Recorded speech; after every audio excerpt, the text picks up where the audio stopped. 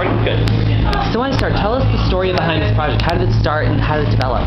Um, well, you know, I've always worn eyewear, and um, when I was on season 8 of Project Runway, um, she would sponsor some of my uh, contests out in Denver because I had viewing parties there. And um, we just made a really good, you know, relationship. And then beyond that, you know, I always felt like she has like the best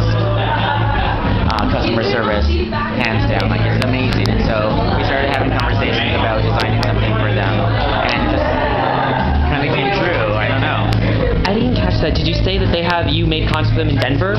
Yeah, I had. They, they have a store in Denver, Okay. and that's where I made my friends out uh, there, and um, and then it just kind of developed from there.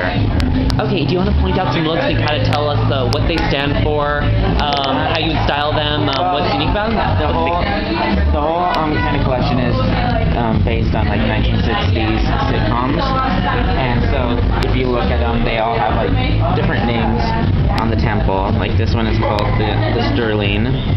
Um, and so I just had a lot of fun with it. You know, I was really inspired by like the Dick Van Dyke Show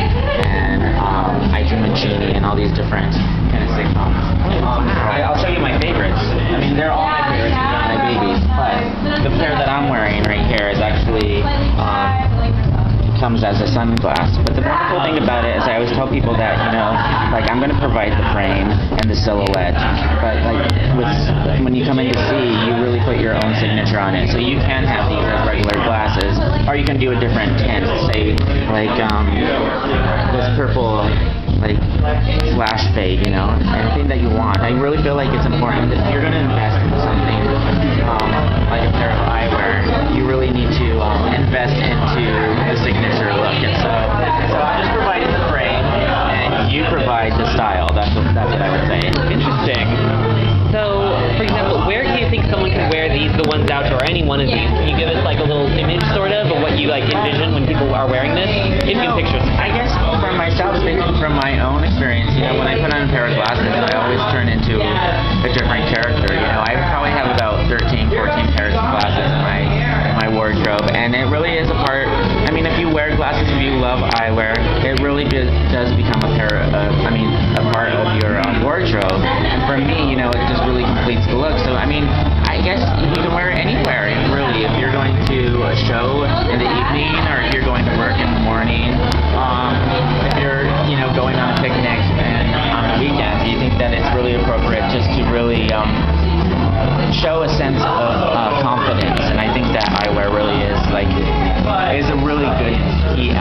showing confidence. Interesting. Very nice. Okay, quick, just generically, how have things been since Project Runway, actually? Uh, things things have been really good. Um, they've been you know they've been super busy. I you know sometimes I feel a little overwhelmed. I'm wearing about five different hats now, and I think every day is a different day. Like today, I was about I think it's an hour late, and I I'm, I'm just on Denver time. You know I'm in New York City, and I was looking at my computer, and it was like 12, but in reality it was two, a mess. Anyway, so I do wear a lot of hats, and it can be a little hectic sometimes, but um, I'm really appreciative of it, and I wouldn't change a thing in the role. Okay, one more question. Can you pick any one of these and tell me what outfit you, you personally should, would wear with them?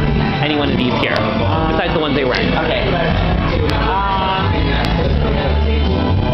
well, these ones, these ones in the black, um, they're not up here, but when I wear these ones, I usually wear those in the airport. They're really dark, and they're kind of like, they're kind of like, you look a little conspicuous when you wear them, so I think it's appropriate to wear them in the airport.